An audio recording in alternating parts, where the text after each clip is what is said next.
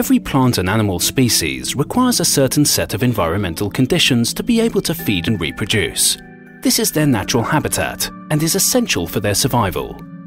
Today, habitats are being degraded by pollution, industrial development, urban sprawl, and the effects of climate change.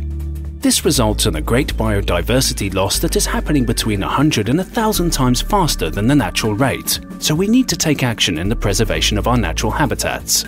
This is where the Emerald Network comes in. Developed under the Bern Convention, the Emerald Network is a group of selected natural areas created to protect habitats that host crucial and threatened biodiversity in Europe through coordinated and sustainable management.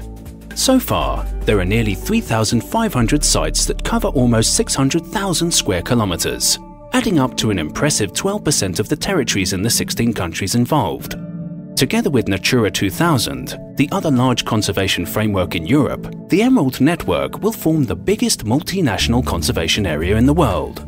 Being part of the network will boost the important socio-economic benefits of ecosystems, ensuring the provision of water, food, fibres and materials, fuel or natural medicines, allowing for social and cultural activities, as well as serving as crucial regulators of climate, purifying water and air, controlling erosion, preventing floods, and mitigating wildfires.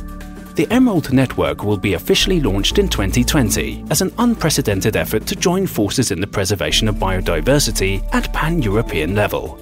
Governments, institutions, companies and citizens all have a stake in looking after our planet, and we need everyone's contribution for this initiative to be effective, because there is no future without healthy nature.